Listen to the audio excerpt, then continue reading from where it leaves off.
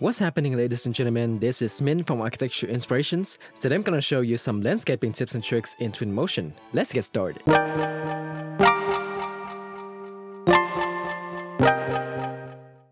Number 1. Background and foreground. First, when you launch Twinmotion, you will see that it comes with a background and a starting ground. Both of these can be customized. You can customize the background by going to Urban, Context, Background. Twinmotion comes with 9 backgrounds that you can use. Just choose whichever works best for you. You can also change the rotation of the background here. I will use the mountains background for this model. The default ground plane in Twinmotion is called the starting ground, which you can customize by applying a different material to it. For example, you can change the material to soil, grass, or even water. However, this is still very limited because the ground is just a flat plane that we cannot edit. So what if we want to edit the terrain? Number 2. Adding landscape. To add editable landscape, in the library, go to Vegetation and Landscape, Landscapes. Here you can see we have two options, the flat terrain and the rocky grassland terrain. I will first use the flat terrain and drag it over here to add it to our scene. Here I cannot see the flat terrain because it's under the starting ground so I can just hide the starting ground or I can move the flat terrain upward. You can see that the flat terrain is similar to the starting ground. The big difference is that you can sculpt and paint the landscape terrain. When sculpting, there are several settings to adjust the brush, such as diameter, intensity, and shape. And up here you have several tools such as raise, dig, smooth, noise, erode, and flatten that you can use to transform the landscape. Here you can see that when I dig into the landscape, it will reveal the starting ground underneath. So you can hide it to make it easier to see your terrain.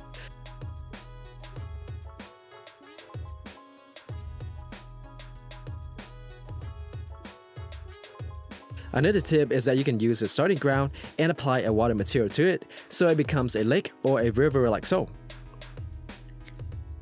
There we go, just use these tools and settings to create the landscape that you like.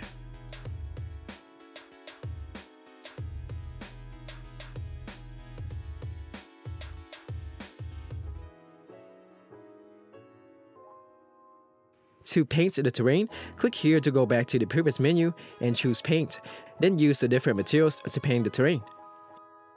Here you can see the settings for the brush, such as diameter, opacity, scale, and shape.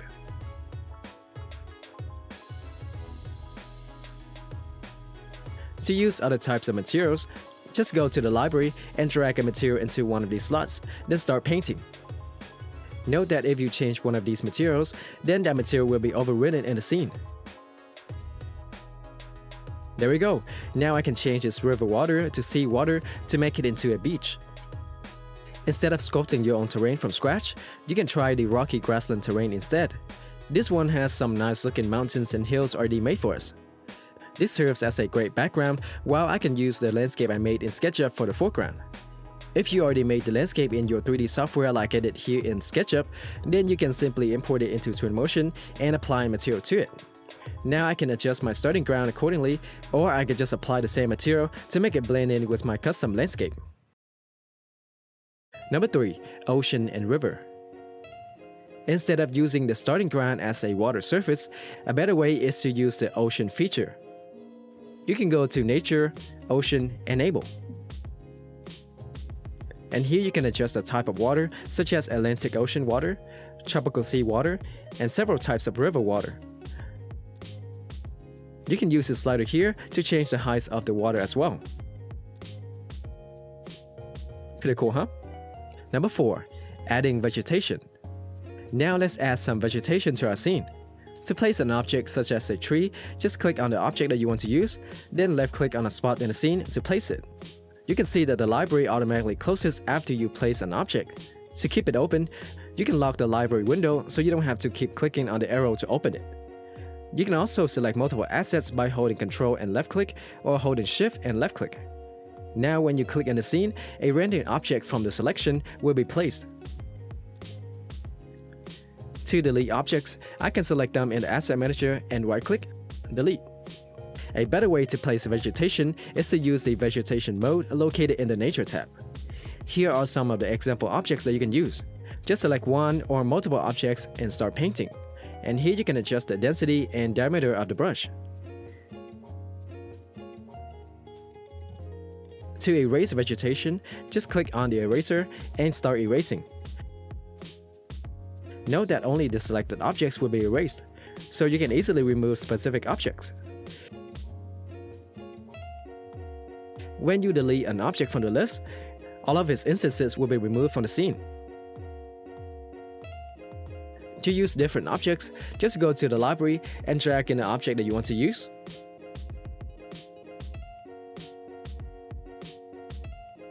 As you can see, this is a great way of populating your scene with trees.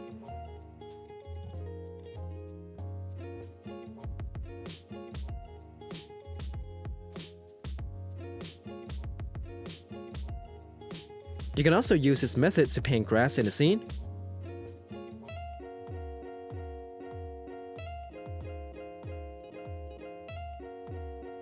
However, you can see that this method is not very precise because the grass are painted over other areas as well.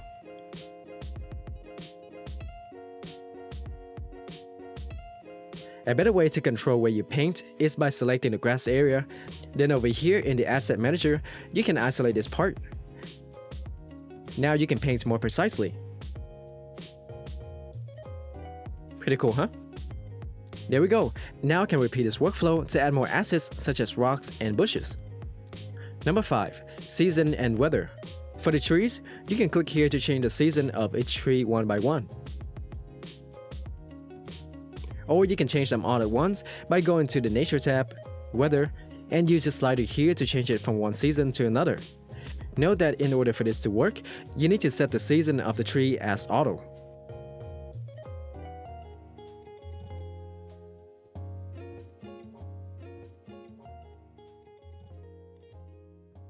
Also, you can use the slider here to adjust the weather, so you can create more effects like rain or snow.